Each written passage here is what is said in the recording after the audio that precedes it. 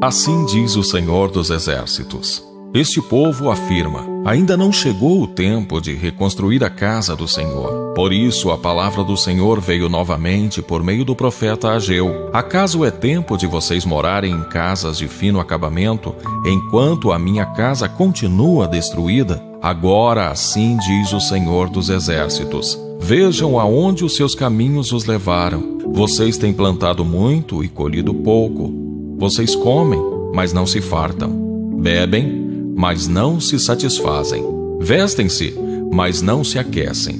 Aquele que recebe salário recebe-o para colocá-lo numa bolsa furada. Assim diz o Senhor dos Exércitos: Vejam aonde os seus caminhos os levaram. Subam ao monte para trazer madeira, construam um templo para que eu me alegre e nele seja glorificado, diz o Senhor. Ageu capítulo 1, versos de 2 a 8.